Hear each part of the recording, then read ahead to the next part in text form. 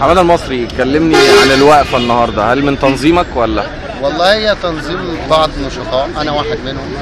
أنا جاي مواطن آه، رافض اللي بيحصل ورافض سرية الجلسات لأن إحنا من حقنا نعرف. من حقنا نعرف إيه اللي بيدور جوه اللجنة.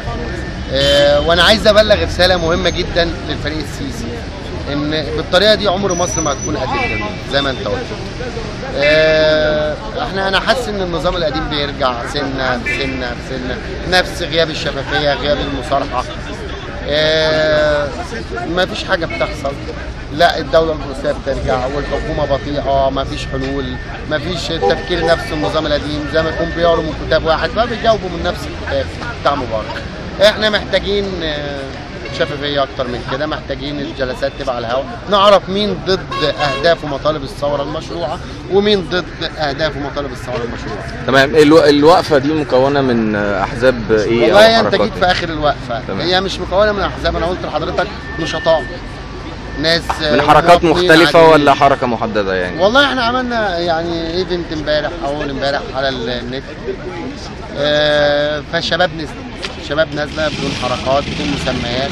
آه. رافعين لا لسريه الجلسات. من حقنا إن إحنا نعرف من حق الشعب بعد ثورة أو ثورتين آه، يعني ثورة عظيمة 25 وموجاتها 30 ثلاث ثورة 30 يونيو. المفروض الشعب يعرف من حقه يعرف مين آه، بيدور على مصلحته مين عايز يحقق أهداف ثورته آه، مين عايز دستور معبر آه، متوافق عليه الشعب كله. دستور محترم تلتزم بيه الحكومات القادمة. ومين مش عايز الكلام ده؟ مين عايز غياب الشفافية وعايز الضلمة؟ رأيك في الوقفات ال- المضادة لباسم يوسف آه، على خلفية والله؟ يؤسفني يؤسفني جدا إن النهارده واقفة للدستور وواقفة لباسم يوسف. وقفة الدستور العدد يبقى فيها قليل دستور اللي هو القاعدة اللي المفروض معبر عنه. المفروض دستور يعني. دستور يحمي باسم ويحمي غير باسم. آه يؤسفني ان العدد. تعليقك على الحلقة. والله هو هو باسم آه، حر يعني هل شايف إن هو آه، فعلا إن هو- كان في إهانة مباشرة للجيش أو الفريق عبد الفتاح السيسي؟ لا والله هو مش إهانة مباشرة. إحنا ما كان بيعمل كده أيام مرسي. ما قلناش ليه إهانة لمرسي ما قلناش ليه إهانة إحنا خلينا خلونا يعني إيه ما ترجعش قمع الحريات تكميم الافواه خلوا اللي عايز انت اثبت عكس ذلك.